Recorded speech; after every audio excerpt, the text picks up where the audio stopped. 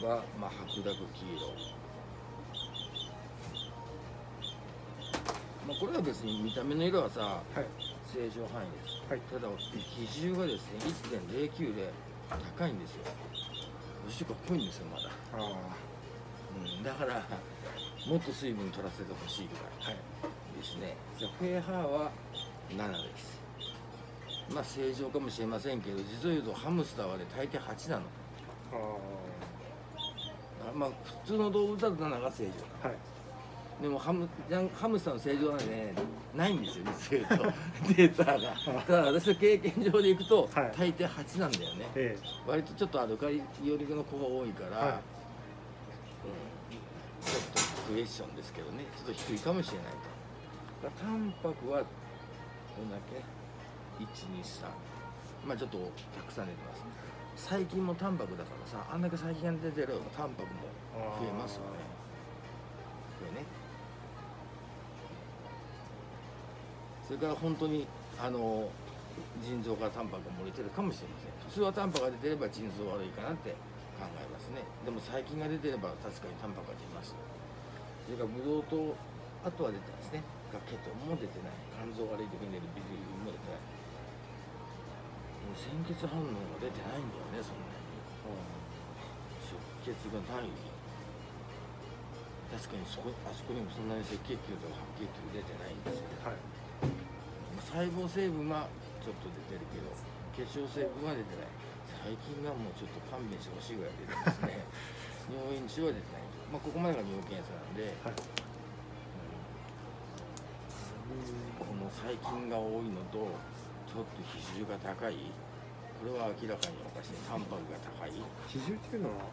比重っていうのはですねお水が1.000なんです。はい。で大体これもあのー正常値はないんですけど他の動物種からすると例えば1.035より高い方がいいとでもまあ上は上限がないんですけどぜまあ1.060ぐらいかな動物種にて1.040から、まあ、これぐらい。要すあんまり高すぎるってことは何が言えるかっていうとこんだけ食べれても脱水してるよってことであんまり反対にこれよりも小さい数字だと比重が低いわけだから比重が低いということは多因なわけです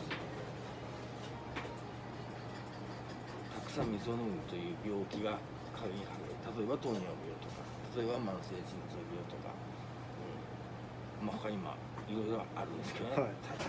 になるのは。そっだからちではなくてそっちじゃなくて濃いのそう濃いんです。だからこんなに元気でもさやっぱかなりおしっこ濃いからさ水分は本人も飲んでるとは思うんですけどもっと取らせたい。ということですね。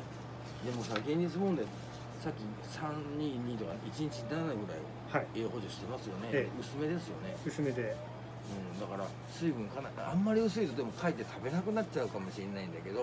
あのその時はあの右から入って左から出してます。あそうですよね。だからほどほどの濃さにしないと、うん、ダメだもんね。あとなんか水分取ってほしいんだけどあねとはあのキャベツとうん。あとハムスター用のゼリー。はい。電解質の。うんあ電解質のやつ。どうはい。しようポカリスエットとかこういこういったちょっと甘いさはい。電解質の入ったど飲み物あるじゃないですか、えでこれちょっと甘すぎるからさあの4倍以上に薄めてさ4倍希釈以上に薄めてさ、ええ。ちょっと与えてみます？与えて置いといて飲むかな、とにかく水分を取ってほしいことですね体の時って肘ゆっくりかでこの間も1.050以上だねだから高いんだよね。なかなかこの子おしっこ取れないんだけどいつも高いんですよ。050以上。この時だけですわ1.04にあ本当だはい一番最初の時だと簡単に言うと。あとは全部高いですね、はい。そういうことなんで。であそれでえっと A の1番の薬に追加でえっとドキシサイクリンでお薬を追加で。これ抗生剤ですね。どうせちょっと今飲んでるのと作用基準はちょっと違うんですけどそれでちょっと行ってみましょうかね。はい。はいじゃあすいません、はい、じゃあ今ちょっと作ってるけど A に追加でちょっと入れてますんで、はい。A がちょっと濃くなりますけどね、はい。これはそんなに苦くないです、はい。あでも最近 A のさんも嫌がんないです。のあそうですか、はい。A のさん嫌がない、はい。嫌がんないです。あれは苦いですけどねかなり。前はなんかあれ。開けたらこすりつけてましたけどあれよく出す薬なんだけどさみんな飲めなくてさだんだんブドウ糖の量が増えてくケースが多いんですけどね。もういただいてる薬は全部だ大丈夫？はい。すごい。慣れたんだよ 慣れました。はい、じゃあそういうことで今作ってますんでね。はい、はい、すみませんお願いします。ありがとうございました。はい。お大事になさってください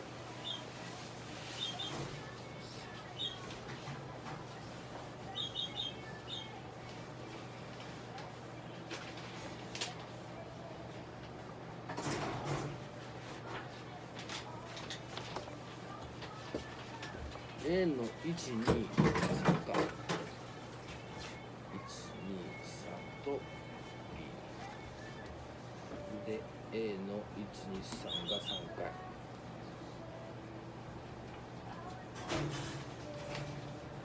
B が B 用でいい。